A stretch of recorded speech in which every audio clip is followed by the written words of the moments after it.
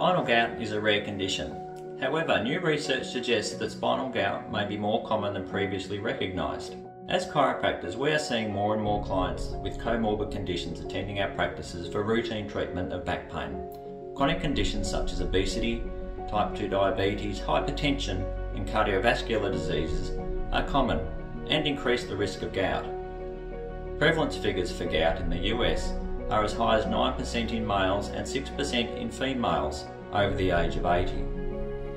With research suggesting that 15% or more of these gout patients may also suffer from spinal gout, it follows that some cases of spinal gout may be missed in our practices. In our paper, we explore the latest evidence on spinal gout diagnosis.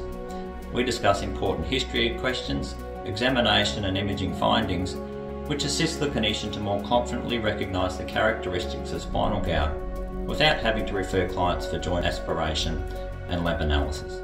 We discuss dual energy computed tomography, otherwise known as DECT, a new and improved technology for detecting monosodium urate crystals in joints and soft tissues.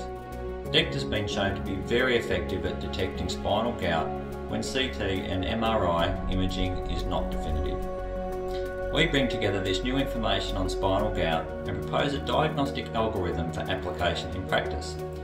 We hope this paper will arm our readers with practical Monday morning clues for diagnosing this rare but debilitating condition.